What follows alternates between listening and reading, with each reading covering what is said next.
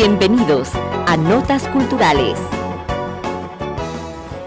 La Casa de la Cultura Ecuatoriana, con motivo de sus 70 años, ha diseñado una serie de actividades para acoger a la familia ecuatoriana. Hoy, en nuestro segmento informativo, estaremos conversando con Juan Sigüenza, quien tiene encargado la dirección de la Asociación de Empleados y Trabajadores de esta institución cultural. Quisiera que me comentara, este, con motivo de esta fiesta que inaugura la fiesta de la Casa de la Cultura Ecuatoriana el próximo 18 de enero, cuáles actividades acometerán los trabajadores de la casa.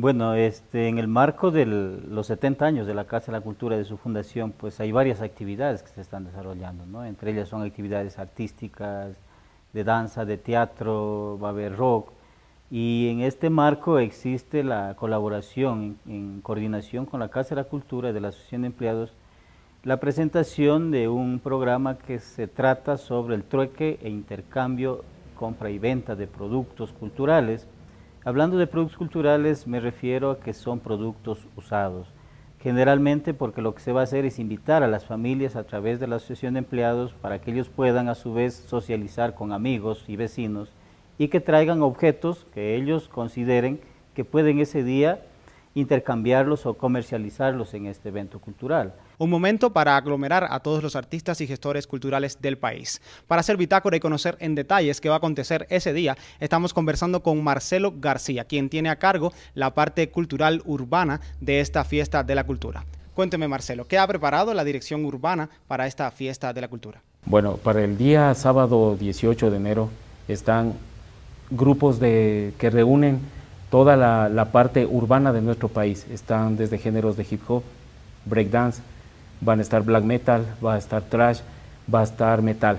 Entonces, eh, en la Casa de la Cultura quiso tener a estos grupos acá y me parece una buena oportunidad para que ellos vengan, visiten a nuestra casa y obviamente expongan su música ¿no? ante todo el público que va a existir ese día.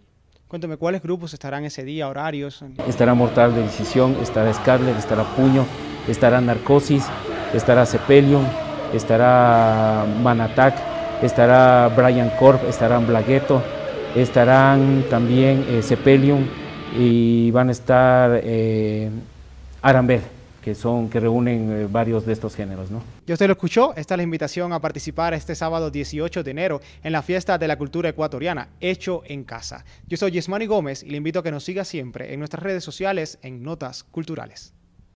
La Casa de la Cultura Ecuatoriana en su 70 aniversario te invita a disfrutar de un día de música, escultura, pintura, cine, teatro, libros, danza, trueque, gastronomía, artesanías y más, con la participación de Aramis Papachango y Sergio Zacoto.